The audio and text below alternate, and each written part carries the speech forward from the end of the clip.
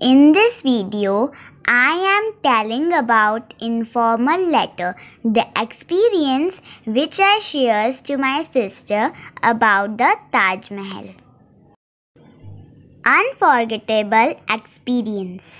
Dear Dakshita, how are you? Hope you are fine. Today, after a long time, again I want to share my beautiful experience with you about the Taj Mahal. When I visited the Taj Mahal to see it, I was very happy and excited to know the real story behind it.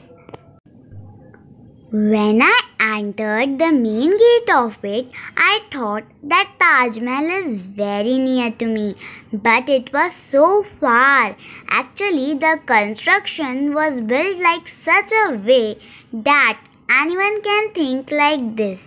The story behind it is really very amazing, which was told by a guider there that at the moment when Mumtaz, Shah Jahan's wife, was close to die, she took a promise from Shah Jahan that he will make a beautiful and big mausoleum in her memory.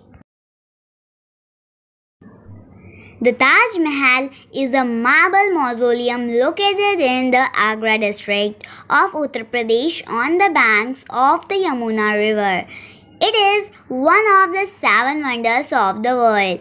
It was built by Shah Jahan in the memory of his wife Mumtaz. There is Mumtaz tomb inside the Taj Mahal. The Taj Mahal building was built by 22 artisans in 22 years of period. It looks very beautiful in the light of full moon night and looks golden in color when bright sun rays falls on it. It is considered a symbol of Indians' pride and love. It took 20 crore rupees to make it. Very beautiful carvings have been done. Inside it, a guest house has also been built in it. So, it was my beautiful experience which I shares with you. With love, Vibha.